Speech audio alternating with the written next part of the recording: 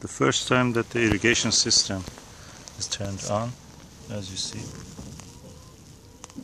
these are soaker waters uh, hose pipes.